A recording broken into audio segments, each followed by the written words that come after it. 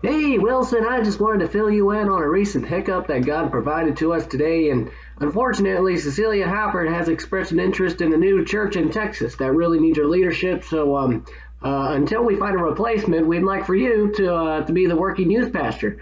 Anyways, give me a call when you get the chance, and we'll talk more. Thanks. Bye.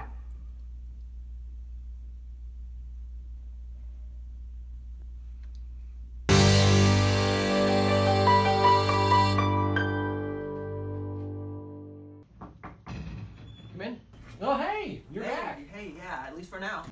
Oh, wow, you're going to KFC? Uh, USF. That's what I said. But but anyways, I mean that's that's great. Yeah, I mean, I got a full scholarship, so why not? Oh wow, a free ride. Yeah, uh, something like that. That's that's great. Yeah, yeah. So I look before I went, I wanted you to hear something that's kind of been bothering me, and I wanted you to hear it from me. Okay. Okay, yeah. So a few months back, when I first came here, I kind of had a thing for Micaiah, and it's not like anything ever happened. I don't think she even really knew who I was, but I just wanted to tell you and uh, you to hear it from me at least. Very interesting. Yeah.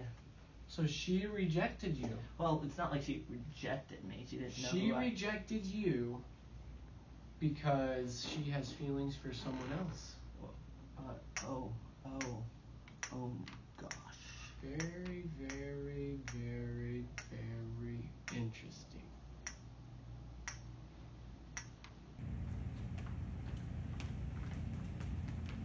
Hey, Hi. so you're here in the new youth pastor. That's cool. Yes. Listen, I wanted to talk to you because I heard that you rejected Kelley. I'm sorry. Listen, I, I understand. You don't have to tell me, but I, I What are you, what are you talking about? It's okay. Okay, is it the promise ring I gave you? yes, and I wear it on my wedding finger to show that I am weddingly in love with you. This is weird. One, I did not reject Kelley. Two, I'm not into you. No. Three, you're now my youth pastor. That's weird. Um, well,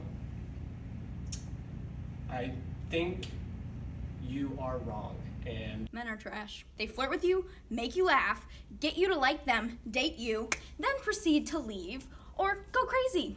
I call it the circle of trash. They ask you out, yet somehow you're the one who ends up planning the date and paying for the date.